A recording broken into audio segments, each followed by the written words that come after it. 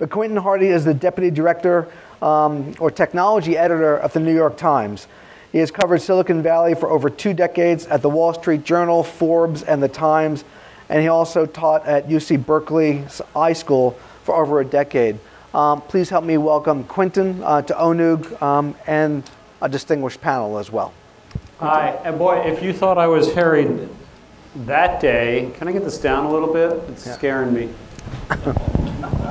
okay, uh, you want to bring that down a little bit? Thank you. Okay. Don't want to blow out anybody's eardrums. Okay. Thank you. Uh, yeah, if it was Harry that day, you should have seen me today. I just got back from San Francisco where I was covering, I think it's like phase 43 of the Oracle Google trial, where they're oh. arguing about whether Java's and Android, and Oracle's up to asking for $9.4 billion now, so that's uh-huh. fantastic. And Eric Schmidt probably could have had a better afternoon than he did. That'll go on. Never mind that. Uh, the point of where I'm going there is like the lawyers talked about how 3 billion Android phones have now been activated since 2008. The Java feature phones that were prevalent then just got wiped out, and this is an open source system that's just gone mad and in less than 10 years completely dominated the system. It followed on Linux, wiping out, if you will, Sun Microsystems and many other companies with the triumph of x86 type computing. And now, we're taking up today is the prospect of open source inside the data center and where that's going to go and how big that might be, the effect and the outlook for everybody inside that. Is there something special inside data center architectures that will prevent them from having a similar kind of experience? Or are we seeing, going to see this rolling kind of open source process take place inside the data centers themselves. Um, you know, five years ago, 10 years ago, this question might have been sort of absurd. There were big clouds. AWS started 2006, um, and they were largely proprietary systems. Since then, it seemed less and less like a co comparative advantage. You've seen OpenStack come up. You've seen smaller systems come up. You've seen Facebook do a lot to grow quickly, open sourcing both hardware and software. Um, if it was unthinkable 10 years ago, it rises the prospect of being inevitable now. But these are also really big, complex systems. This isn't like doing phones or servers. So how big is the, the movement into data centers? From the current status, how much can it affect? what's going to happen to big specialty players inside this system, and are there going to be new companies, perhaps even new service providers that rise up in that? What remains proprietary? What loses margin? What potentially gains margin? Are new business models being created? These aren't questions I can answer, but I've got five guys with me who probably can. Peter Christie from 451 Research, Jason Nolan from Baird, uh, Rod Hall from JP Morgan Chase, Peter Levine from Andreessen Horowitz, and uh, Barry Eggers of Lightspeed Ventures. We're going to talk for about uh, 40 minutes, and then we'll take questions for about 15. I think that's right. And um, so let me start with an open question. I'll ask you all to introduce yourself and talk a little bit about what you do, and address the question about the current state of open source in data centers, uh, how far along it's come, and what has surprised you the most about it. So, Peter, why don't you open up? If I can push up. Ah, push up, successfully push the button. Peter Christie, I'm a research director at 451. I've been in the business um, forever. The, one of the first machines I programmed was vacuum tube, and there ain't no one in this room that can say that, I think. Uh, we live in a, an incredible world, a rapidly changing world, and I, I like to play the the wild advocate in 451, and my, my simple advocacy is everything is going to go to AWS. This is the end of the IT ecology as we know it, the uh, apocalypse. Apocalypse. It's easy for you to say. Um, but there's something remarkable going on. The, the phenomenon is you can do anything you want now without any infrastructure, and infrastructure always used to be the, the hindrance, and now it's easy to imagine almost any application that will run on these magical devices and stuff in the, uh, um, in the cloud. The other part of, of the world that I find fascinating is the visible um, concentration into a number of small, uh, very large providers. It's an interesting topic to track because everyone doesn't want to happen, doesn't want it to happen except for for Amazon. The most interesting data, if you want to track you know, it. First off, doesn't when you have this conversation, doesn't Microsoft and Google kind of say "says you" and there's a place for them, or do you really think Amazon itself well, dominates all this? Microsoft started this. If you go back, what, 10 years, it was Microsoft that was saying there's probably only need for five to 10 large fabrics. Mm-hmm. So they were the early advocate, and I think in the end that's turned out to be. So the big public clouds generally is what you mean? Well, for the fabrics, people running hardware platforms, which is a really interesting and important vendor topic because they're the people that buy operating system stacks. So there's a whole bunch of the IT ecology that, uh, that depends on it. The interesting thing about tracking um, Amazon, I, I, again, have been an irritating person inside 451 with my position, and Amazon's numbers of AWS's numbers went um, public, and in the last quarter, their run rate is slightly over uh, $10 billion.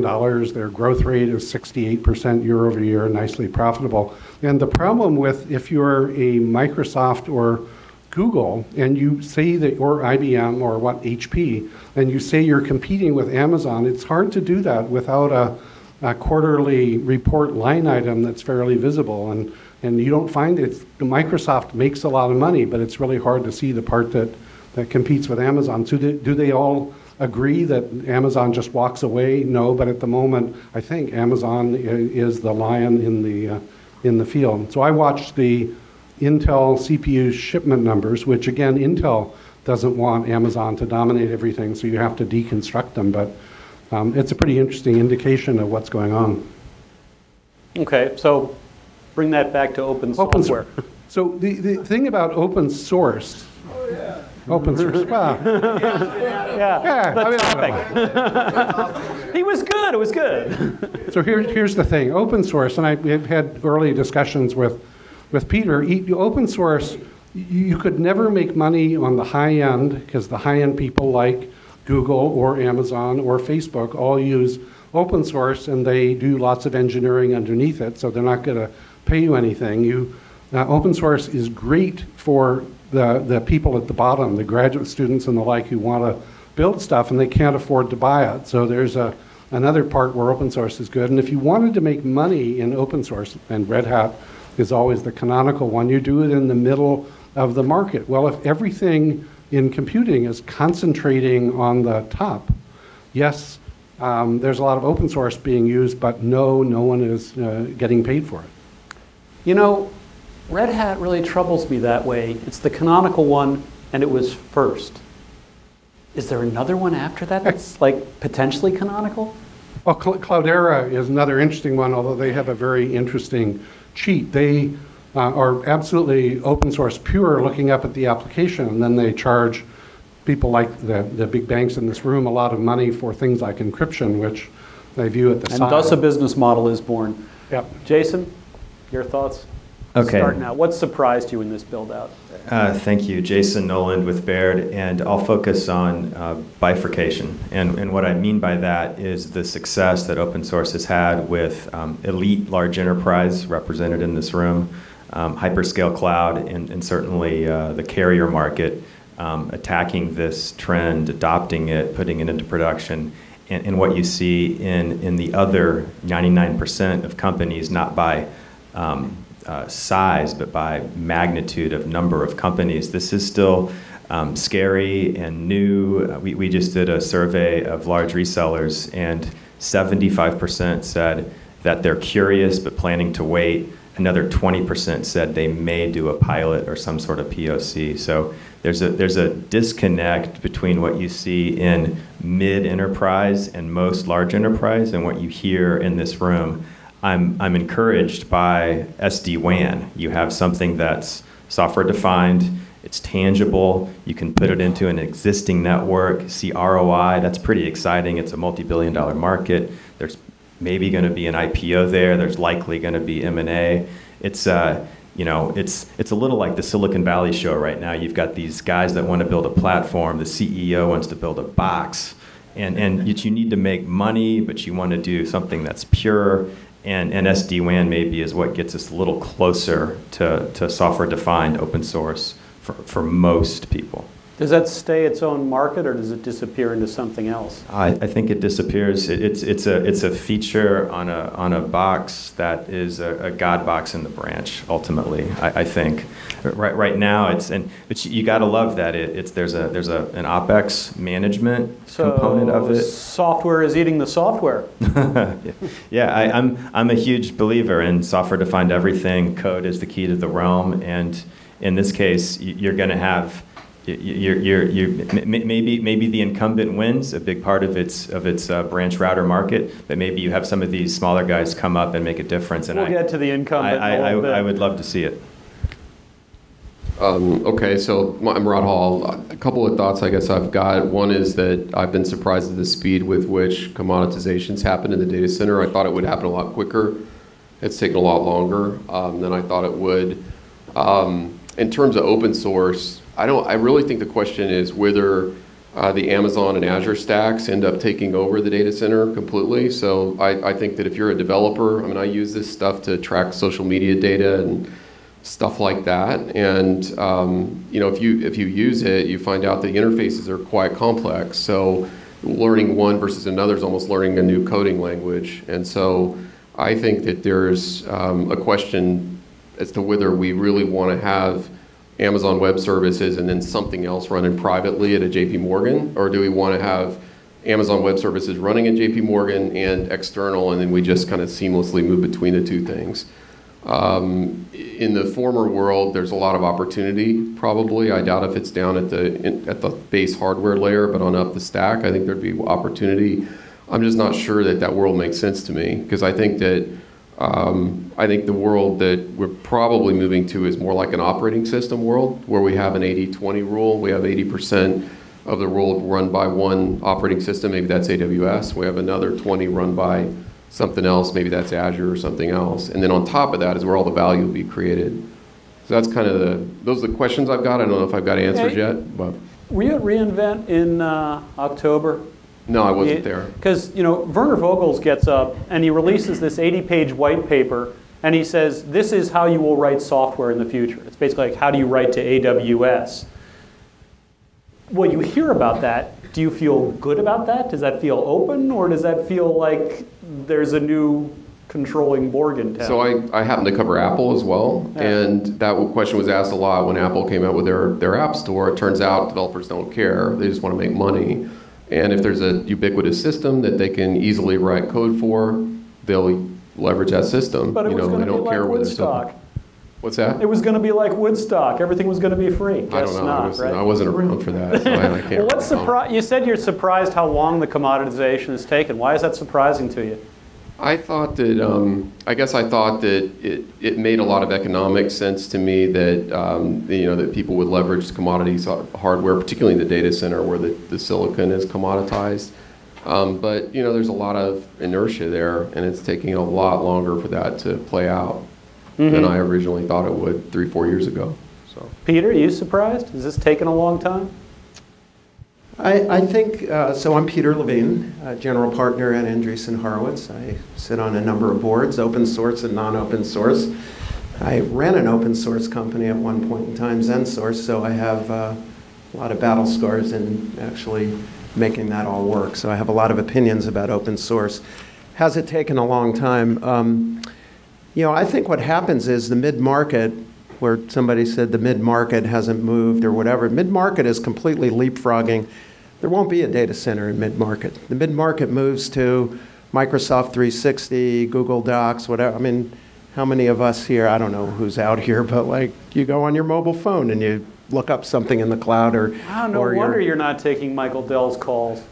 Yeah, I haven't in a, in a while. Um, uh, so, but what we are seeing is at the higher end, you know, this whole commoditization of the data center at a certain scale.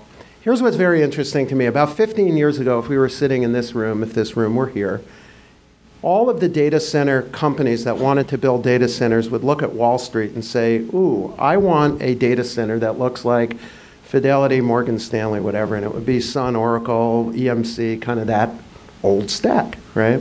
Cisco. Um, And uh, today, what everyone looks at is how do I go build a data center that looks like Facebook or Google? To some extent, Amazon. And so we are seeing the bifurcation that I see is one mid market goes to the cloud.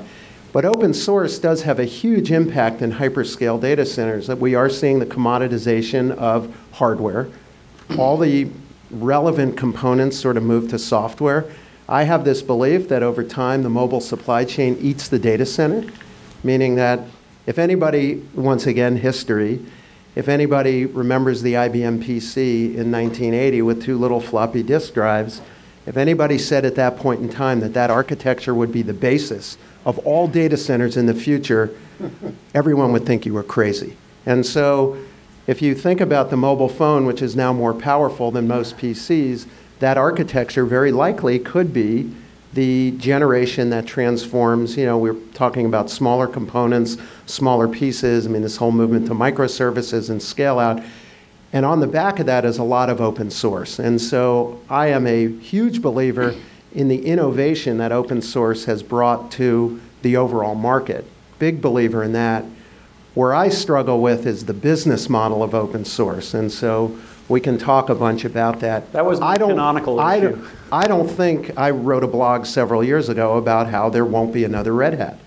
Um, I think that this whole notion of support for open source is a broken model and doesn't allow enough innovation inside the company to actually do great things. We can talk more about that, but um, so separating whether I believe in open source versus the open source business model, the open source business model is where innovation needs to occur and let open source flourish. And I have sort of That's a ideas on flawless segue to Barry because you sent me an email saying we need to explore flavors of business models. Oh, there you How go. How many can there be? Wow, I didn't There even could be know a that. lot of them. Um, I'm Barry Eggers. I'm a founding partner at Lightspeed Venture Partners. Uh, there's not many answers left on your question. The hell. I tend to agree with a lot of the things that were said, though. Uh, first of all, I was I joined Cisco in 1991, and I remember uh, the days when IGRP was sort of a core part of their strategy. People remember that was proprietary. It's 25 years later. I don't think a lot has changed. I mean, we have more commoditization because of the hardware side, but I don't think we have as much commoditization on the software side, which is what this group's all about, right?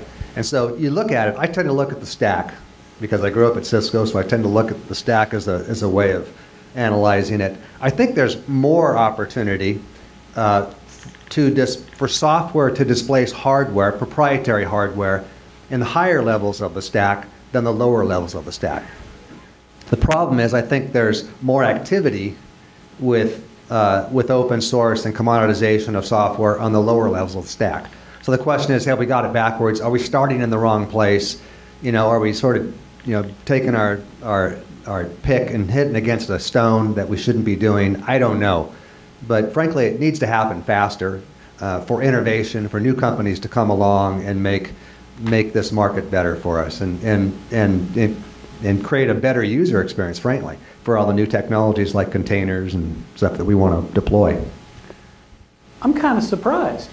Th- That's three of you leaning towards this is really taking a long time, this is kind of slow.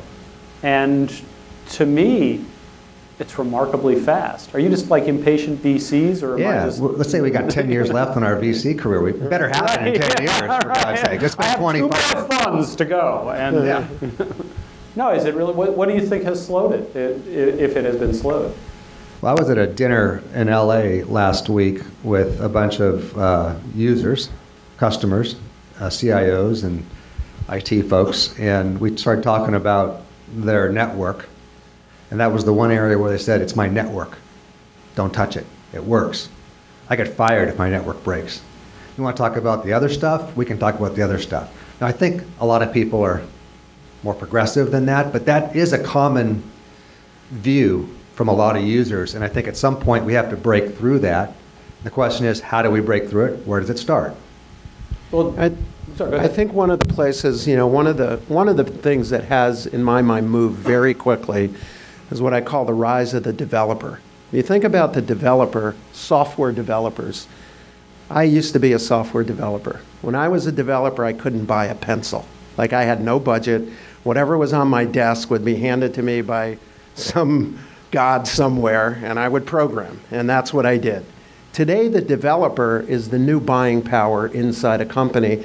And I believe that this developer ecosystem, this really happened over the past five years, is the, is the tail wagging the dog on much of this sort of application movement, much of the hyperscale. That's how we're going to see this new sort of evolution of um, new applications and new innovation is going to occur on the back of the developer.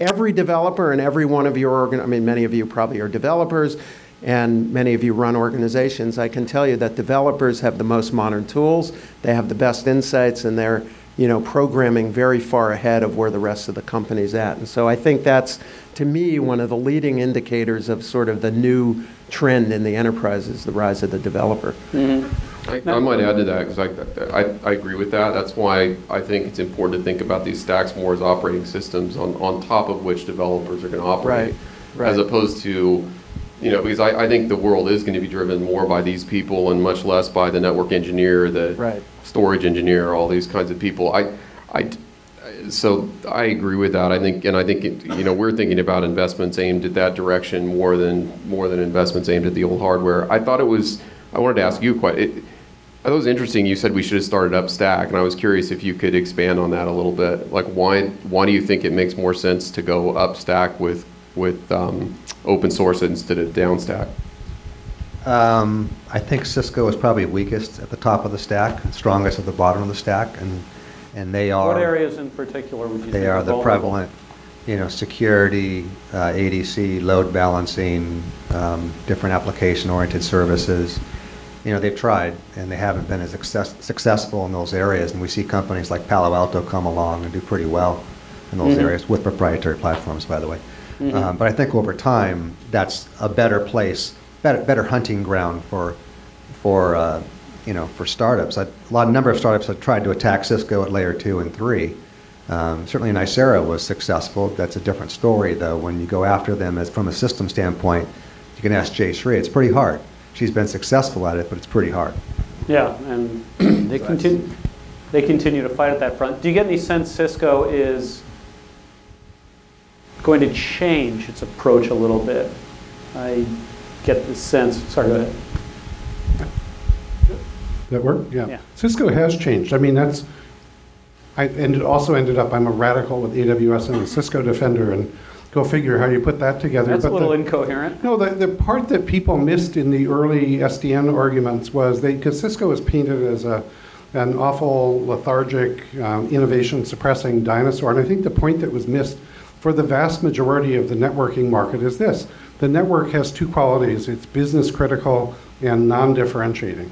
So if you're a, a, a small to mid business, the only thing you can do by experimenting with your network is shoot yourself in the foot. It's unlikely you can build a better network, and if you go to a, let's say, a DevOps network, which I think it sounds ridiculous now, but was a concept of the early SDN, and and all of a sudden your Java programmer leaves and your network stops running reliably.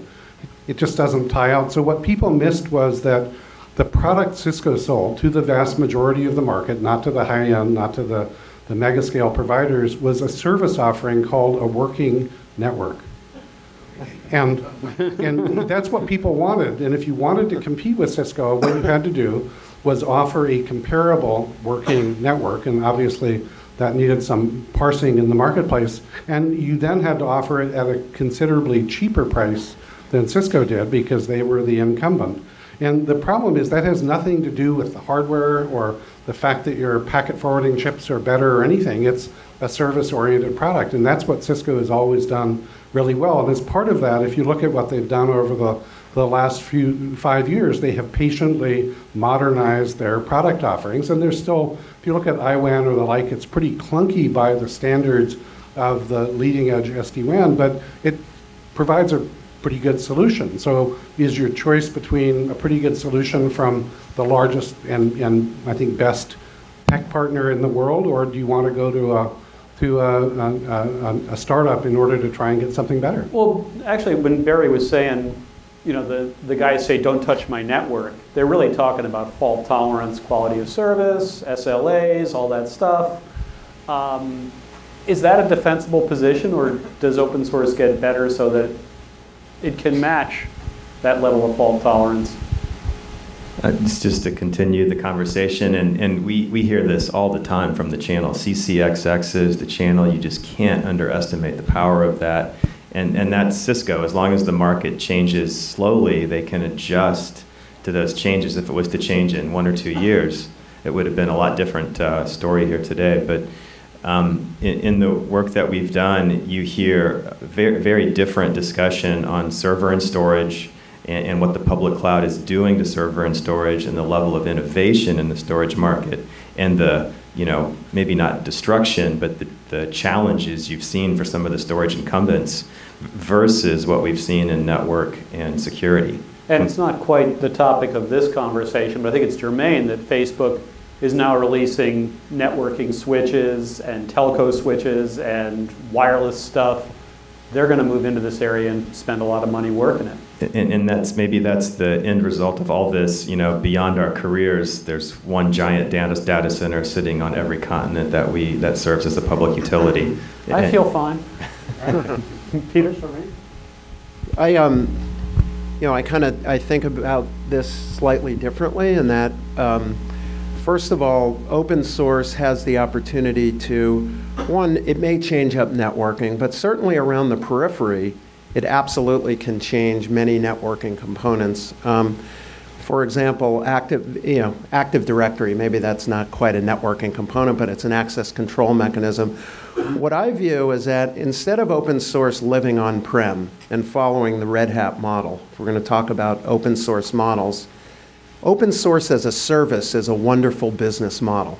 So take, for example, a company like Okta that builds a Active Directory as a service, or a company like Databricks that builds a um, you know, database in the cloud, or Zscaler that has WAN optimization in the cloud, right? If you think about those types of service, or GitHub that's development in the cloud. How many of these are AH investments? Some of them, not all. not all, not all. Um, you know, my view is that a lot of the infrastructure components get relegated out to the cloud as services, and here's where microservices come in um, to where we can, I can envision many open source projects not being on-prem, but having an API set where you can get access to all different kinds of services that have been available on-prem. Now they're, they're available off-prem through a vendor that's supporting and managing that particular part of the network, whether it's the main backbone to the network. I see a lot of ancillary components. Same with security, storage, compute. Like a lot of these pieces will get relegated out to these open source as a service model. And uh, I think that that works quite well. I, want to just comment on this idea of um, chipping away at Cisco being difficult. I think it's true in a static world. I think that the world we're living in is a little bit different in the sense that if you look at the economics of AWS, you know, they started to release the amortized cost that they have for networking. It's about 7% of their amortized cost. But if you look at typical enterprise IT, it's 25%, something like that. And so, and, and if you look at the, if you look at the amount of um, you know, workloads that are running in AWS. Now, nobody knows exactly, but people estimate 15, 20% of enterprise workloads.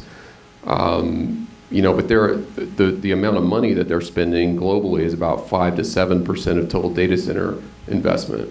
So if you, if you look at TCO, so there's a real compression of cost that has to happen for an enterprise to catch up with Amazon's underlying cost to provide that service. I think that's the problem that Cisco and people like that have is if you're an enterprise – you'd be happy to go with Cisco, but you're not going to be happy to do it at the cost that you do today. You're going to have to, that cost structure is going to have to change and evolve toward AWS, I think. Yeah, um, Intel so. too. Just you know, in their last earnings, Intel is saying we're going to become a cloud-centric company. Well, your margins just went through some heavy, heavy changes, and your customer base just shifted radically.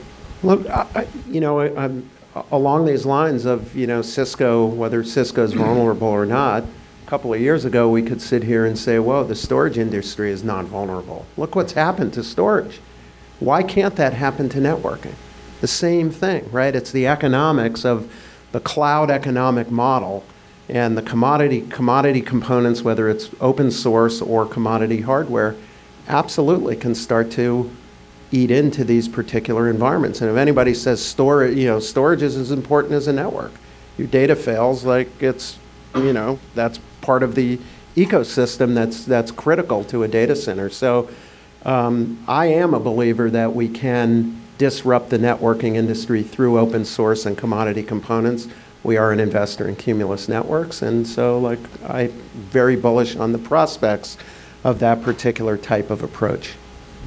So there's- there's a dramatic change also going on in networking, which I don't think is as visible as the public cloud change, and that's, it's been mentioned uh, today several times, and that's, I think it was the guy at GE was talking about how he could imagine his network toggling because increasingly the workloads are in the cloud, and at some magic moment, your network has to be in the cloud. Well, if you think of an enterprise worker on their mobile phone using an application that's running out of a a cloud provider. Um, there is no corporate network, and yet all of the functions that the corporate network does, other than connectivity, um, compliance, authentication, performance management, have to be provided. So those are going to go pretty quickly and, and perhaps abruptly into cloud-based services. Right, I agree with that. And, I- and I if that happens, then the interesting question is, I mean, what, Cisco understands that. Cisco is patiently lumbering along, doing that. They have a lot of cloud resources for security. Will Cisco be able to parlay their, we, all we do is deliver a working network in, into that service. They have, they know how to do it. The other part that people miss on networking is that the vast majority of networking is not taught in school. So it's different than doing Linux, where everyone sort of knows what Unix does. The, the people like Facebook have done very well, or Cumulus, using very limited networking uh, capabilities. So if you're inside the data center and everything is L3 routing and you're doing ECMP for load spreading and BGP, all of that is available in pretty robust open source software. If you're doing anything that looks like a conventional corporate network where there's 20 protocols, no one knows how to implement those protocols except for a handful of network vendors. God forbid how you make them work all together compatibly in one in one stack. So the interesting question to me is how rapidly does the baroque nature of enterprise networking disappear? It has to move to the cloud. If it moves in its fullness today, Cisco and, and the other big vendors that are knowledgeable will be in a strong position. If it gets simplified in the style of Cumulus or, or what Facebook did in Altoona or what Google does, then it'll be a whole different picture. Now, um, a minute ago or earlier on, Peter said, know, we used to look at this stack where it was Sun and Oracle and EMC and Microsoft. Two of those companies are kind of gone. Um, and are there incumbents you like in this deal? Are there big incumbents anybody can cheer on? Are there new incumbents that look more durable? Yeah, I mean, I like Intel. I mean, as everything moves to commodity, guess who wins? Intel. If software eats the world, it doesn't need Intel But then you got because this, it runs on Intel. Yeah. I run on Right. ARM though. It might, but I'm just hasn't saying, so like- far. Right, it hasn't right? so far. Yeah. So Intel's. Intel goes through some changes, but Intel endures. I think so. Intel did announce 12,000 layoffs two weeks ago, so not Yeah, I understand. I'm just, you're asking me long Right. term. Long term, they're embedded. I think, um, you know, of the, of the list that, well, I didn't say Microsoft, but Microsoft is doing a nice job in transforming their business. Yeah. Um, Really, I mean, a lot of their energy is, is going towards Azure, and they are making a lot of efforts to, you know, become a cloud compute vendor, and Mm. I think that's rather interesting. I've seen a big change at Microsoft, so. I also think at the end of the day that Cisco's still going to be there as a winner. I just, I mean, it just doesn't happen that way. You just don't displace someone like Cisco.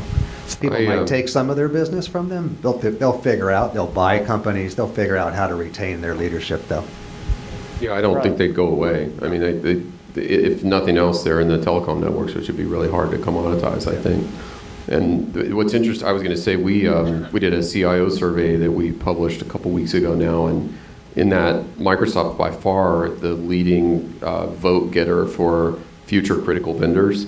But guess who's number two now? Amazon Web Services. Really.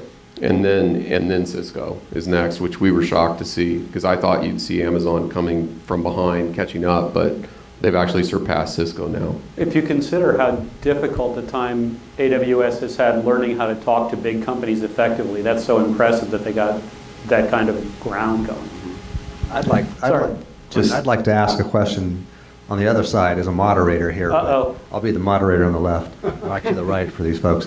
Um, I want to ask these guys, so the, the, the opposite of what you just asked, who are the two or three companies most at risk here? Who's most at risk? Yeah.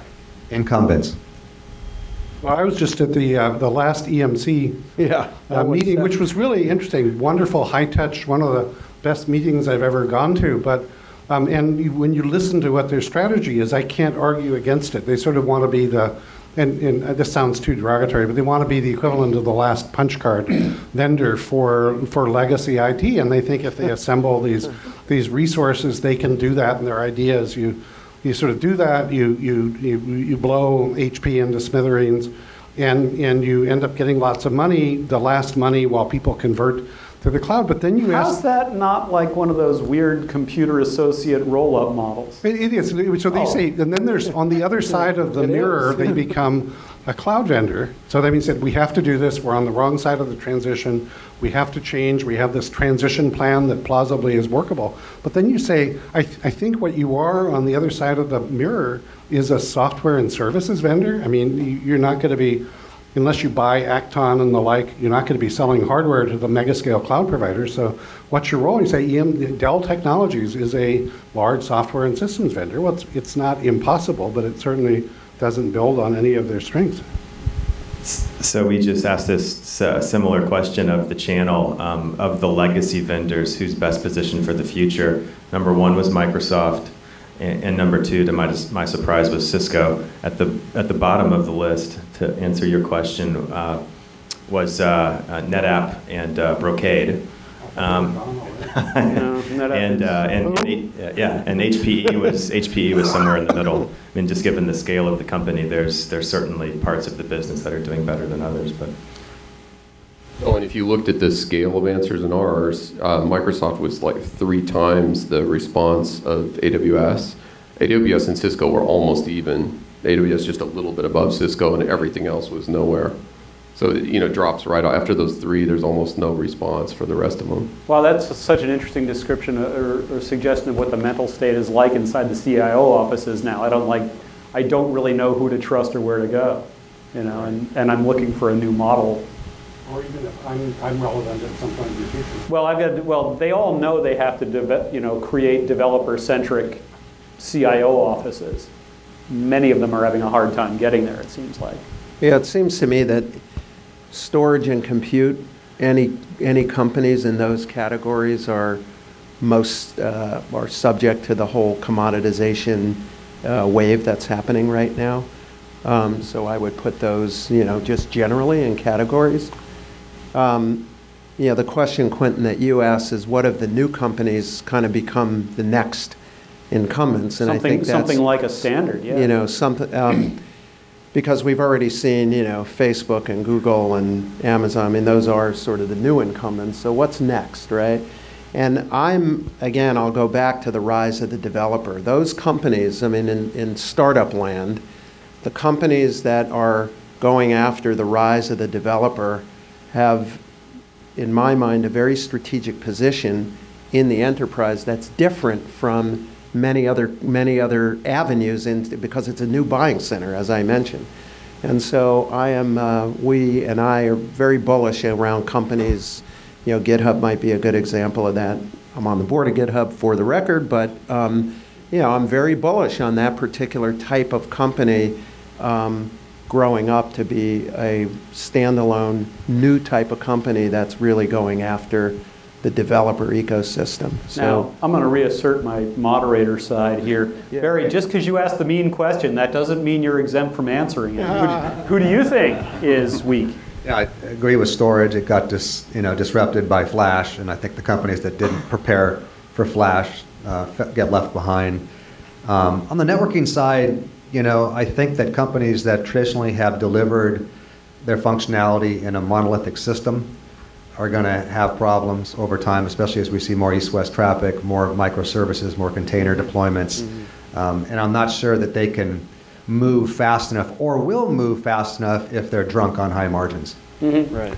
That's why I, I think Cisco's in, in uh, denial a little bit, you know, and I, and I think that they are drunk on high margins, so this switching part of their business is highly at risk. Now, there's a whole bunch of other stuff they do that probably isn't. Well, drunk on high margins is one way to put it. The other way is like the minute they admit what time it is and their margins are going to have to shrink, everybody in your business puts a sell sign on them and their stock goes to hell. You know, it's, It's, a very uh, hard line to walk. You know, I've, I've been inside of large, companies, been on all sides of this, running small companies inside of large companies, and I actually ran M&A for a large, fairly large public company. And the challenge is with large companies, it's not that no one sees these trends coming. Everyone is smart inside these large companies, no question of they see it.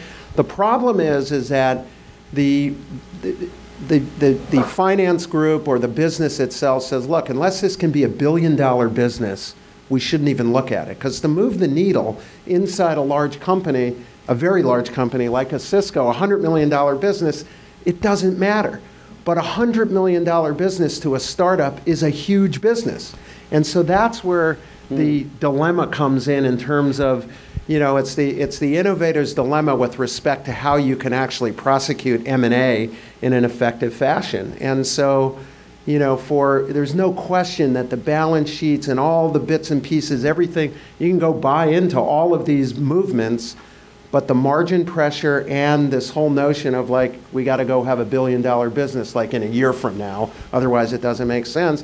And that precludes doing a lot of interesting things in favor of continuing the cash cow, having been on that side. And so. I mean, I used to work for AT&T, Yeah, same kind right, of thing. Right. they- You know, you have all the political powers with the guys that control the P&L. Yeah. And so those guys, there's always smart people, and they all know all the stuff that's going on, and they all have all the ideas, but they never get, those ideas never bubble up and get funding because the guy controlling the P&L's and it- political and it- powers linked to the P&L. And typically, those things are the things that are going to be dilutive, not accretive, right? Right. And so, like, there's all these financial sort of machinations that, that hamper a lot. Yeah, I was I got two more places I want to go, but Yeah, I was talking actually- a sec, Barry. First, Okay. we got about 10 minutes left. We will take questions. Prepare them in your heads if you haven't. Talk, Barry.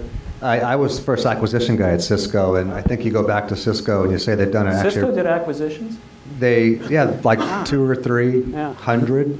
Um, And, and actually, the most successful ones were small companies. Crescendo. Small companies that came in, Crescendo was Crescendo the was best the acquisition ever, five paid for all the others after it. Yeah. So I do think that the companies that are really good at acquiring, I think Cisco's very open-minded about acquisition. I don't, I think that'll help them. The companies that are not good at acquiring or haven't been able to integrate those acquisitions well will, will have trouble in this market and this trend. Yeah, I agree. Did you have something you want to say? Yeah, I was just going to say, uh, y- y- again, numbers, I tend to think in a, at least reasoned in a quantitative way. The, the, the number that's causing um, Intel and HP and Dell heartache now is the relatively rapid decline, the accelerating decline of the PC. And if you're in Intel and all of a sudden the PC business goes away more rapidly than you expected, it's just horrifying. I think that's the 12,000 layoffs. W- What do you do? It's hard to adjust. It The- is PC guys, yeah. But the, the other, the same is showing up in servers. If you deconstruct the Intel numbers, they don't really want you to see them. Intel talks about a data center business growing at 6% a year, the public cloud going at 25% a year, and the, the cloud and the enterprise businesses being roughly the same with um, a crossover this year. And when I do the arithmetic, it seems to suggest that in the purest way, that the legacy IT business selling servers into traditional enterprise channels is on a decline that's prob- probably worse than the PC decline. It is not lost to me that the most vigorous arguments I get about the future of hybrid cloud come from companies interested in selling servers. Right, and that's not happening because what Intel does is is categorize um, cloud as running a data center for profit, whereas enterprise is running a data center for the service of the of the enterprise. So a pure um, private cloud is enterprise and Intel's notion. And boy, if that num- if that's the best estimate of what's happening in legacy IT, then all the people in it, the Dell Technologies and, and HP and the like, are in a huge amount of pain. I don't know how you, if that starts going down more rapidly, I really don't know how you, you uh, adopt to it ec- economically. Uh, Speaking of that, and then we'll take questions from the audience. um, They, those companies you mentioned that are troubled are the biggest employers left in the valley, and that's going to be a little freaky. Questions? Yes, sir. So Google's doing a lot of cool stuff in the cloud, offering new services. Do you think they can do you, do you think they can take market share away from AWS?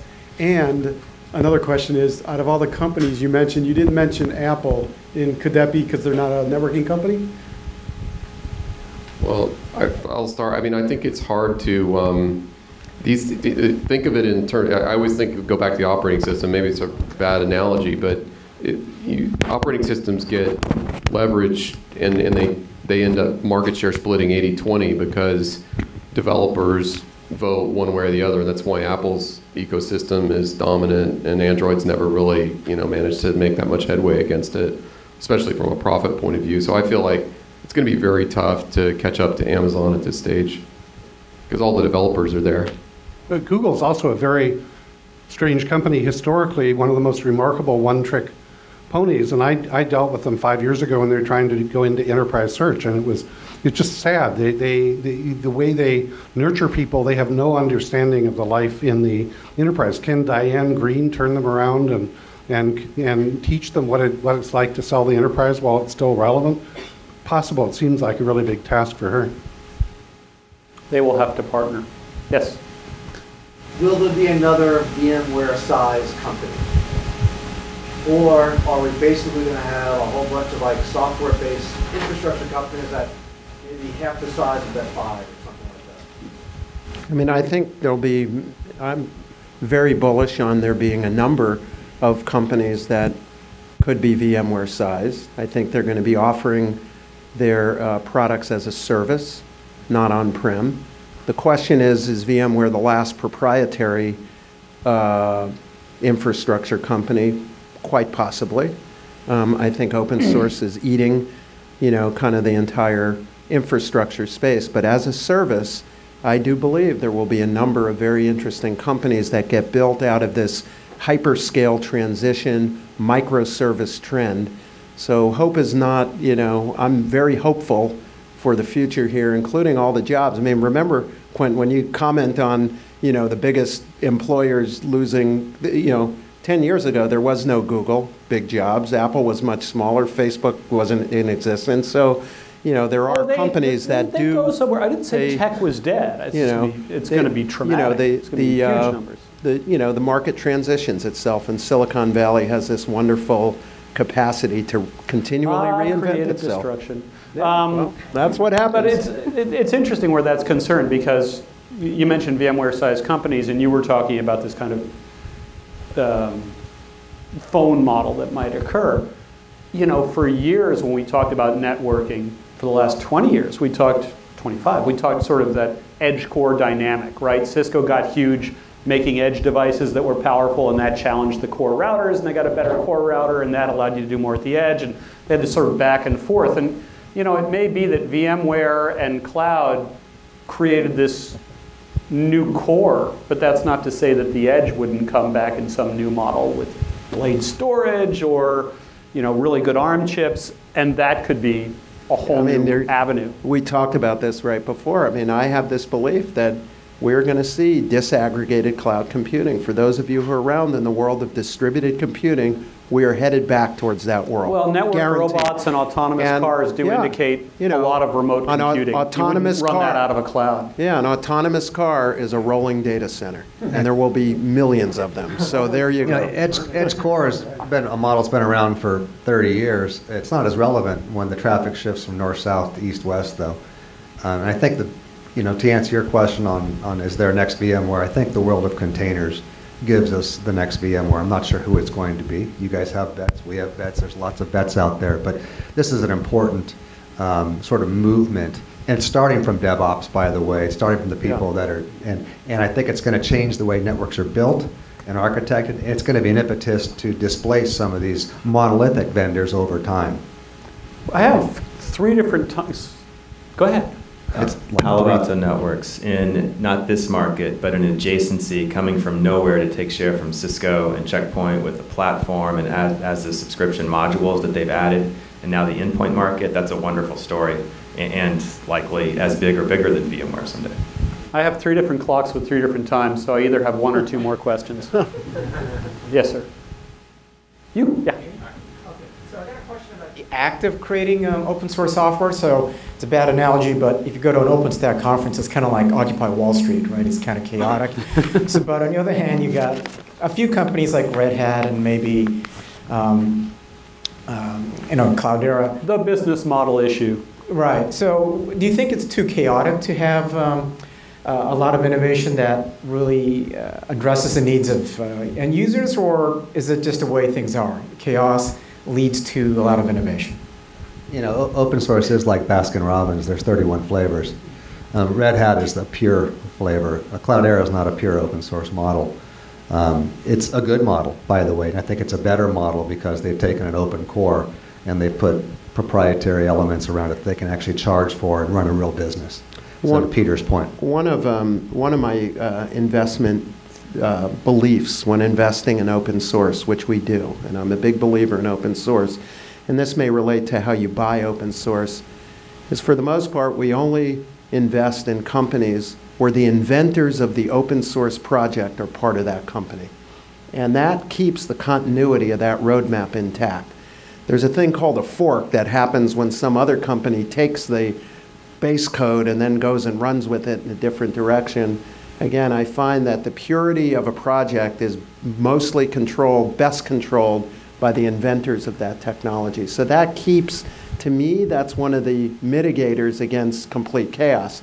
OpenStack is a great example of complete chaos because there is not one company where there is the core developers of the entire project that work on that thing. It's, you know, in my mind, OpenStack is kind of a hairball of. It's like the, it's like the at-home problem. Too many big companies at the too many- top. Everyone's got their hands in that cookie jar creating a variety of different implementations, and that's problematic for it. I I would say the other thing about open source economies, if you use the if you use this, the the chunks of code, you're it's a barter system. So you you contribute a little chunk of code, and somebody else contributes more chunks of code back to you, and so you don't have to really write software now. You just grab in different chunks of stuff off GitHub and slap it together. I mean, otherwise we equity analysts wouldn't be able to consume social media data.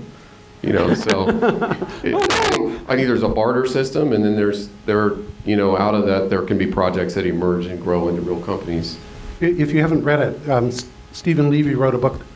twen- This is more than 25 years because they had the 25th year anniversary of hackers, and it's about the origins of so much of the open source concept, uh, the MIT Model Railroad Club. And It's an amazing piece of history because you see the beginning of the, the dynamic of should software be, should be free. It's a really good read. So I, I can take one more. I'll take it off this side if anybody had questions, because I keep looking this way. Right. You win by default. So one quick comment, maybe it was mentioned, Atlassian is a company that is That's a great company. very promising in the open source Yeah. world, and Yeah. someday, somebody like Red Hat.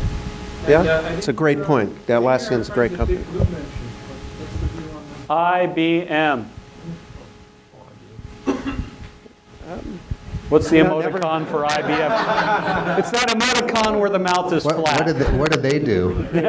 I can't get I can't get this dinner out of my head where the, our IT guys were asked, "What's the number one vendor that you do business today with today, but you'll do no business with or very little in five years?" And IBM was number one. So Oh, I, I don't I You don't happy have now? a real good feeling. Yeah, IBM, I'll give the squishy answer that most of you have given, maybe. Maybe. How's that? Maybe. IBM does something important that a lot of these cloud guys don't do well, which is talk to business people. And that actually may be what they end up doing on behalf of cloud companies. Don't we have bots for that? Oh, yeah, that works. It's called Watson. I was going to say, I mean, IBM, the, the problem I see is that uh, the CEO has, has missed quarterly estimates for seven straight quarters. So at some point, You got an issue. No, at some point they got to turn. They have to show they can stabilize their business. I actually think the most important thing they could do is get out of the, the cloud um, hosting business. They have lots of interesting software. There's no reason they should run it on their own hardware. If they can't do that, then I, I think that their history will probably drag them down into the So muck. SoftLayer was like a $2 billion oops. Yeah. Hmm, That's, Two uh. How much was XenSource? It wasn't IBM. okay, on that note, uh, please give them a hand. We'll move right along. Thanks a lot.